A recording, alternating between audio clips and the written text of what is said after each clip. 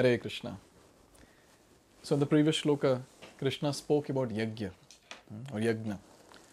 So now in this particular verse that we're going to see, Krishna is going to describe about what type of yajna basically. So let's try to understand that. Shloka number 24. This is a very famous shloka. ब्रह्मार्पणं ब्रह्म हवीर् ब्रह्माग्नौ ब्रह्मणाहुतम्। ब्रह्म तेन गन्तव्यम्। ब्रह्मकर्म समाधिना। So here is very nicely described very nicely translated by श्लोक Prabhupada said ब्रह्मकर्म समाधिना That person who is completely absorbed in Krishna consciousness by Brahmaiva Tena Gantavyam. By doing various activities, spiritual activities.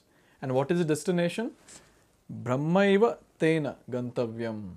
Obviously, spiritual world. Back home, back to Godhead. And Brahmarpanam. Brahmarpanam Brahma Havir. So, this personality, his full contribution is to spiritual activities.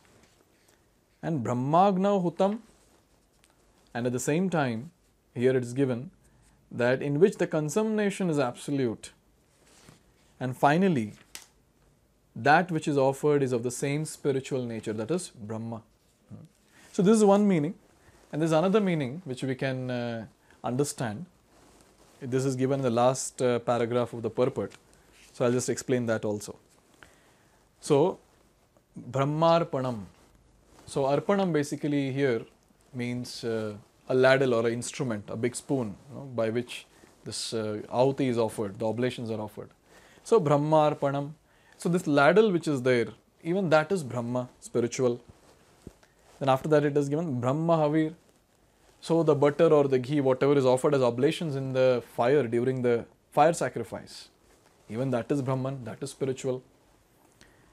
And then Brahmagnau Hutam. So this uh, oblations are offered, Hutam, offered in what? Brahma Agni. So Agni, the fire, even that is spiritual. And Brahmana, the person who is offering, he is also spiritual. So Brahmaiva Tena Gantavyam. So the des- the person Brahma and his activities are Brahman and finally his destination is also Brahman. He is spiritual, his activities are spiritual, his destination is also spiritual. Why? Because Brahma Karma Samadhina, he is always in spiritual consciousness. Hmm. So it's a very uh, nice shloka, but then this is a nice shloka for Mayavadis too. Since everywhere Brahman, Brahman, Brahman, so they misinterpret this as see, everything is one, everything is Brahman. so let's try to understand the actual meaning or actual purport of this particular shloka. The principle of Krishna consciousness is described here. Hmm. What is that? Now let's try to understand the background and then we'll arrive at a conclusion. A conditioned soul entangled in the material contamination is sure to act in material atmosphere and yet he has to get out of such an envir- environment. The process by which the conditioned soul can get out of the material atmosphere is Krishna consciousness. Now it's very clear that the conditioned soul is stuck in this material world. And in this material atmosphere, what is he doing? Material activities. Now, if he wants to transform, he wants to literally progress, advance on the spiritual path, or get rid of this material bondage, what he is supposed to do? He is supposed to change his activities, transform his activities to Krishna conscious activities. Hmm. So, a very nice analogy is given in the purport. Now, when someone eats lot of milk products, so he'll have you know, some stomach problem. But then, if he wants to get rid of the stomach problem, another milk product, yogurt or curd, that has to be had. Then this problem will be solved. So the person is already doing some activities, material activities. So what he is supposed to do? Do another activities, another sort of activities called spiritual activities or Krishna conscious activities to get rid of a disease called Bhava Roga, the disease of materialism or sense gratification. So in this way, one has to do Krishna conscious activities. Here it is given that this process is generally known as yajna or activities simply meant for satisfaction of Vishnu or Krishna. the more the activities of material world are performed in Krishna consciousness or for Vishnu only, the more the atmosphere becomes spiritualized by complete absorption. So in the previous shloka we've discussed what is yajna. It is yajna or sacrifice means those activities which are done for the pleasure of Krishna. Now more the material activities you know that we are doing, if we can transform that into spiritual activities, all our day-to-day activities, everything can be transformed into spiritual activities or sacrifice for the pleasure of Krishna. So when that is done, so all all the activities they become yajna, they become an offering, a sacrifice for Lord Sri Krishna. Hmm. So in this way, what happens is every single activity becomes spiritualized. Hmm. So the same activity that we are doing, it can be spiritualized. This is what is the point that is made here. So Krishna consciousness is very nice. Sthane stita wherever we are, whatever activities we are doing, we can continue. But then the only thing is, we have to include Krishna consciousness in that. We have to change our mood, change our uh, intentions, and do it as an offering for Krishna. What happens? That particular material activity becomes spiritualized. Not just the activity, even the person who is doing it, even he becomes completely spiritualized. Hmm. Brahma or Brahman basically stands for spiritual. That's what uh, we were discussing in the start of this video.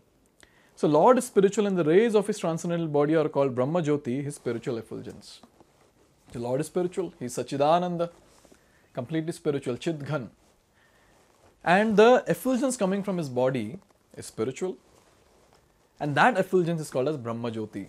So Mayavadis, they say that this Brahma Jyoti is the topmost thing. It's much more greater than the Supreme Lord. That is not correct because Lord is the source of Brahma Jyoti, not Brahma Jyoti is the source of the Lord. Hmm. So in this way we understand that uh, everything is spiritual, you know, when it comes to the Lord. But then how does you know, this material world come into existence? Because see, this material world has also come from spiritual, uh, from the Supreme Lord who is completely spiritual. So even this has to be spiritual, Brahman. But then what is the problem? Here it's given.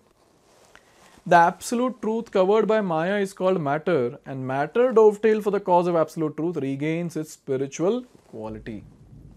The only thing is when the absolute truth, when Brahman is covered by Maya, it becomes material. Hmm? I mean, that particular thing seems to be material. Obviously, absolute truth cannot become material, but for a living entity, it starts seeming like material. It's like when the sun covers itself with the clouds, we cannot see the sun. Hmm. At, at that time, only we can see his clouds. Similarly, here in these activities, the material activities, we understand it is actually spiritual, it's Brahman, but covered by the Maya, the illusory potency of the Lord. And now, what we can see is the illusory potency or matter only. Hmm. So, in this way, we understand that uh, when all these material things, Hmm, so-called material things are dovetailed in service of the Lord that regains its spirituality or spiritual identity. Krishna consciousness is a process of converting the illusory consciousness into Brahman or Supreme. So how to do that? Many people might ask that how to transform material activities into spiritual activities. Krishna consciousness, that is the key. Hmm. When the mind is fully absorbed in Krishna consciousness, it is said to be in samadhi or trance. Anything done in such transcendental consciousness is called yajna or sacrifice for the absolute. So many times people are very much uh, uh, enamored by the word my, samadhi. Hmm. So yes, even we can get into samadhi. How? If the mind is completely absorbed in thinking about how can I serve Krishna? How can I give pleasure to Krishna? And how can I use everything that I have, all the possessions that I have in service of Krishna? automatically the person is in samadhi because his mind is completely absorbed in thinking about Krishna. Hmm. So, in this way, we understand that whatever activities we are doing, we should continue. Just include the element of Krishna consciousness, change the intention of each and every activity that we are doing, and do it as an offering for Krishna. And what happens? That particular activity becomes completely spiritualized. And when that activity becomes spiritualized, when our intentions are spiritualized, when we are spiritualized, what is our destination? Our destination, you're here, let me read that line. Brahmaiva tena gantavyam. What is our gantavyam? What is our destination? Our destination will be spiritual world, going back home, back to Godhead. So in this way, to start with, we have to first exclusively include spiritual activities in our life, in day-to-day life. That is chanting of the Hare Krishna Mahamantra, reading and understanding the spiritual literatures like Bhagavad Gita, Srimad Bhagavatam, associating with realized souls who have actually spiritualized their entire existence, and obviously accepting Krishna Prasadam, that is spiritualized food. So, like this, some exclusive elements we have to include, and slowly and steadily, all our activities will get transformed into spiritual activities. Now, after describing so much of Brahman, Brahman, spiritual, spiritual, now Krishna is going to describe about different types of sacrifices. A very, very interesting section we are getting into.